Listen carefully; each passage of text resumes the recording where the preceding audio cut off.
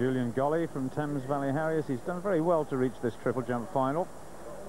He's starting off the competition, in fact, so, uh, well, maybe a nervous moment for him. The adrenaline sure to be surging through his body now. Well, you can just see how poor the conditions are. It stopped raining now, but uh, that runway very, very damp indeed, and sometimes that makes it a little slippery. So Julian got a mark on the board.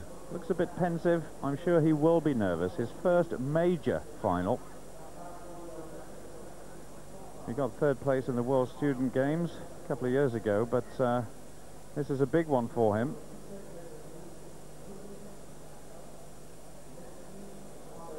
Tremendous effort.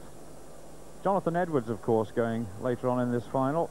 He's got a real medal chance, the leading qualifier from a couple of days ago. There's Jonathan on the left-hand side. 16.21, a modest effort. He'll need more than that to go through to the last eight.